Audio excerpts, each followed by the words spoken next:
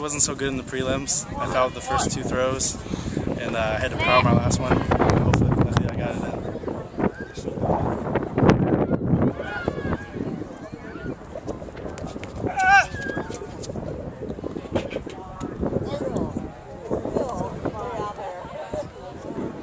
Advancing to finals in the girls 4x200 meter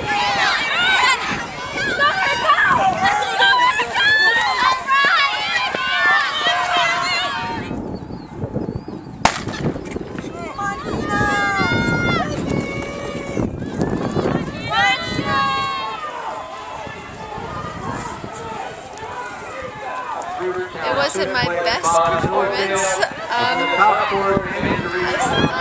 I'm glad that even on not a good performance day that I was still consistent at 5'6". I did 5'8 and a quarter last Wednesday, and I've gotten 5'7 a couple times, but to know that even on a bad day that I'm still at 5'6", especially with all the wind.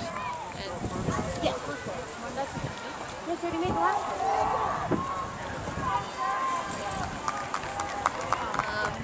top of the podium, 5'6", clean Uh-huh. through. And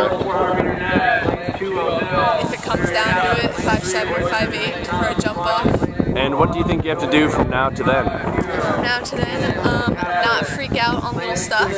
like, Okay.